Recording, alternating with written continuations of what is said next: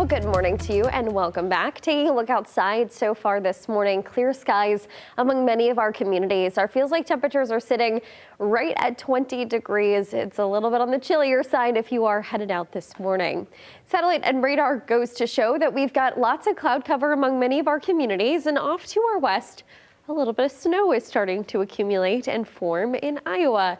Now that system is actually going to make its way into our region as clouds thicken today and ultimately brings us additional chances for uh, some snow showers as we make our way into Sunday. Luckily today is going to stay dry. However, we are going to really start to see that uh, really enhanced cloud cover sticking around for many of our communities. Temperatures are cold in the upper teens and lower 20s, a little bit warmer right along the lakeshore just because of the lake breeze overnight.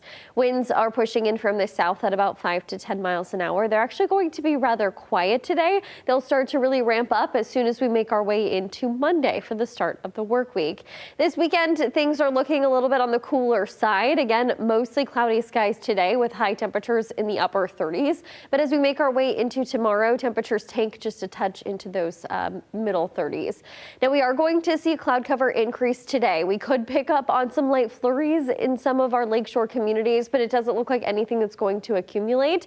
As we head into tonight, cloud cover recedes just a touch for our southern counties, but we'll move right back in as early as Sunday morning. It looks like our chances for flurries overnight are possible, but it's actually going to be more low key, just a couple passing flurries. Our real chance for snow is going to make its way into the region by Sunday morning at 8 a.m. That is going to push through, bringing us additional chances for snow showers. And as temperatures begin to climb throughout the day, we'll have the potential for somewhat of a wintry mix with a little bit of rain potential right along the lakeshore and in parts of Grand Rapids throughout the afternoon. As we head into the rest of Sunday, that cloud cover starts to break. We'll start to see a lull in those snow showers. And then as we head into Monday and Tuesday, chances for random lake effect showers are going to be possible just because of our temperatures. So expect to see full on snow showers for tomorrow, but then the rest of the week is really just going to be lake effect hit or miss.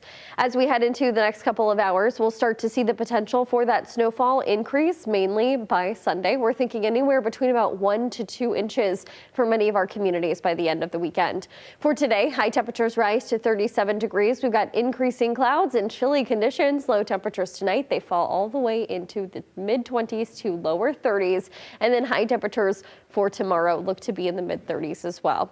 Again, we'll continue to see those those 30s. That's going to continue into next week. A lot colder, getting pretty close to freezing for Monday and Tuesday. Lake effect snow showers as we make our way into the start of the work week. And then just a couple chances for some hit or miss flurries for Wednesday and Thursday as temperatures begin to increase for the end of next week, all the way into those 40s by Friday.